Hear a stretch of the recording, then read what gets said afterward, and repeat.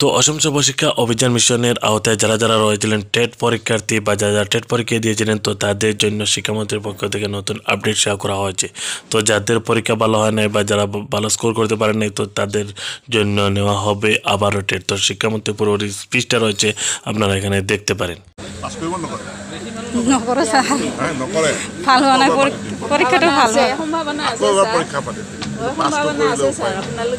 সময় নাই ছাৰ এতিয়া ৰ'ব নকৰে? ছাৰ। ভাল হোৱা নাই পৰীক্ষাটো ভাল সম্ভাৱনা সময় নাই ছাৰ এতিয়া ৰ'ব